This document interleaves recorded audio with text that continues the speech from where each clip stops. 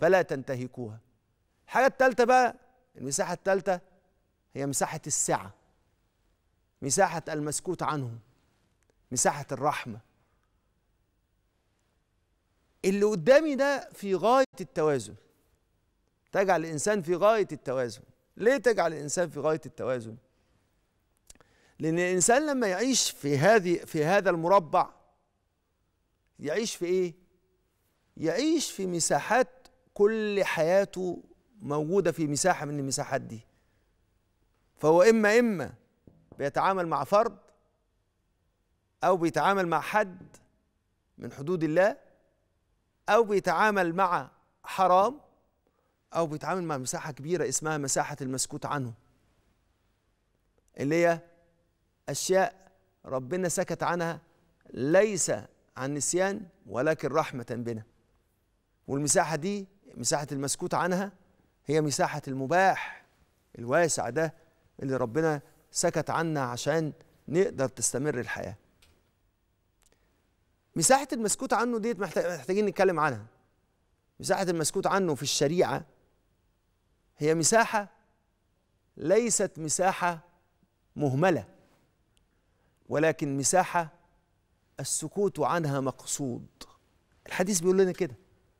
وسكت عن أشياء. رحمة بكم رحمة لكم غير النسيان. يبقى المساحة المسكوت عنه ده مساحة مالها مساحة ليست مهملة وليست منسية ولكنها مساحة ليه؟ مساحة وسع. لأن الرحمة تأتي من الوسع. ربنا موسع علينا. موسع علينا إيه؟ موسع علينا عشان كده عشان نعرف الوسع ده ممكن نفهم حديث رسول الله صلى الله عليه وسلم إن حضرة النبي قال حياتي خير لكم ومماتي خير لكم يعني إيه مماتي خير لكم؟ مماتي خير لكم إن أنا سأظل نبيا وسأظل ماذا؟ رسولا بأبي أنت أمي يا رسول الله فلما أظل نبيا وأظل رسولا ستظل رحمتي. يعني إيه ستظل رحمتي؟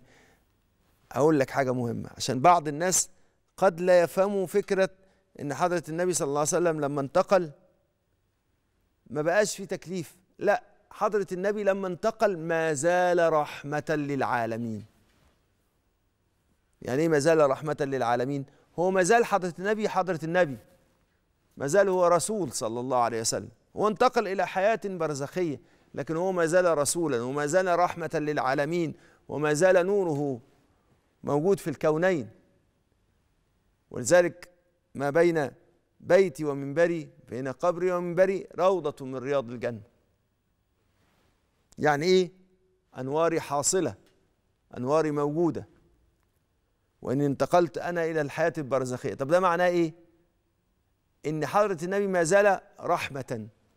فما حدش يجي يتعدى ويقول إن اللي سكت عنه حضرة النبي ده أنا هفسره على مراد حضرة لا حضرة النبي. سكت عن أشياء. إيه اللي حاصل؟ للسعة للرحمة. وعشان كده كان أحد العلماء لما جه كده يصنف كتاب كان هيسمي كتاب كتابه كتاب الخلاف قال له لا سميه كتاب الايه؟ السعة. فالرحمة فالسكوت هنا عشان الرحمة. ليه؟ لأن لو كل شيء تم الحديث عنها أول شيء إحنا مساحة الوسع هتقل. ليه مساحة الوسع هتقل؟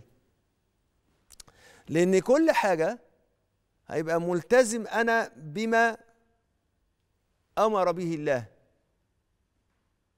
وربنا سبحانه وتعالى عايز يقول لي هذه مساحة إباحة مساحة وسع مساحة سعة مساحة إن ربنا أكرمك.